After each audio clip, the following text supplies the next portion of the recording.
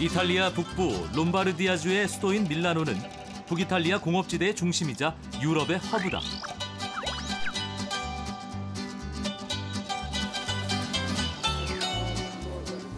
유럽으로 통하는 관문인 만큼 다양한 문화가 녹아 있다.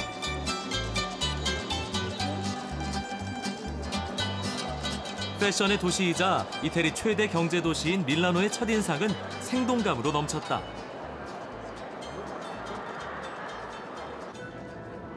나는 밀라노의 중심 거리 두오모 광장으로 향했다. 거대한 밀라노 대성당이 한눈에 들어온다. 전체 길이 157m, 너비 93m로 세계에서 세 번째로 큰 성당이며 축구장 크기의 1.5배나 된다.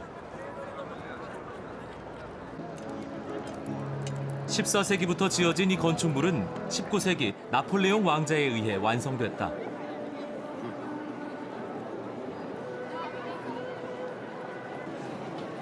이 건축물을 보기 위해 전 세계에서 많은 관광객이 찾아오고 있다.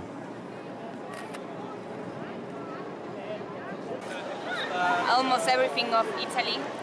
So we started with Venice and then we came for, uh, to Milan because it was on the way. Yeah? And this is the most uh, significant significant thing here. So we are appreciating the dome.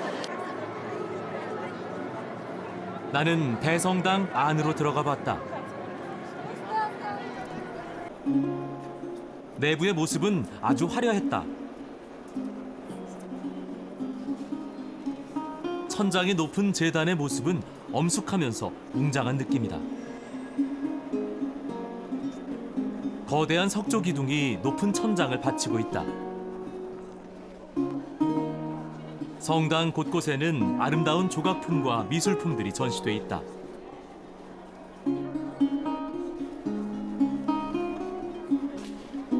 벽면에는 과거 이곳을 지켜왔던 이들이 잠든 화려한 석관도 안치돼 있다.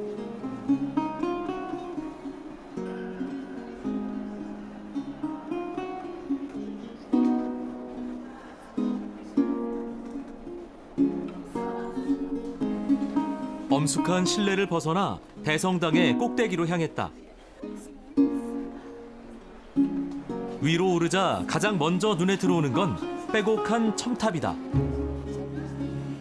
대성당을 이루고 있는 135개의 웅장한 첨탑을 가까이에서 볼 수 있었다.